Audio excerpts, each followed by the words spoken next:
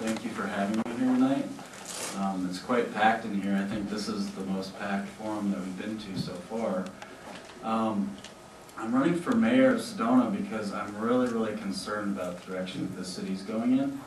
Um, I guess you all know about the 76 light poles that were proposed for Sedona. That's one of the main concerns I have.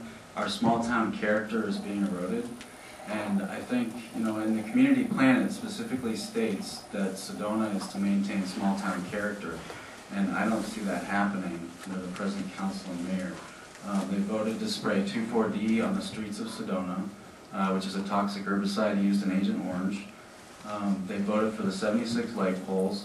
They haven't voted for the Red Rock scenic designation. And that, I think, is crucial. The Red Rock scenic designation area has to happen to protect the Red Rock lands. If we don't do that, we're gonna lose our tourist base. That's why tourists come here. That's where we get our revenue from. So the Red Rock scenic designation area, I think, is a very important issue during this election.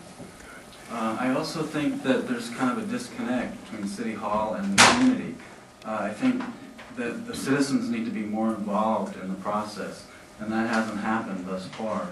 Um, I propose internet polling so that everybody in this community is involved and can make decisions on issues before decisions are made.